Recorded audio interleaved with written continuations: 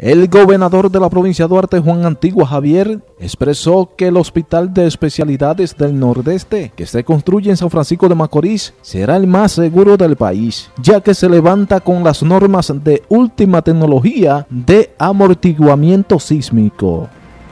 Podemos acreditar que ese hospital eh, reúne las condiciones para soportar eh, cualquier eh, evento eh, eh, sísmico de, de grandes proporciones, puesto que serán colocados unos dispensadores para que de esa manera, si se produce,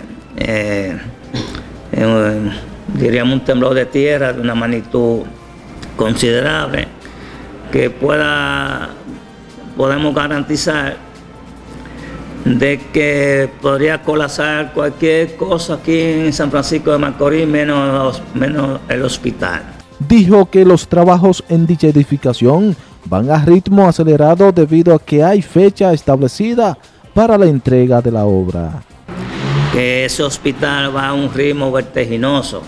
Se está trabajando fuertemente y dentro de un mes o menos ustedes van a ver que se van a multiplicar los esfuerzos porque hay una fecha de entrega de ese hospital.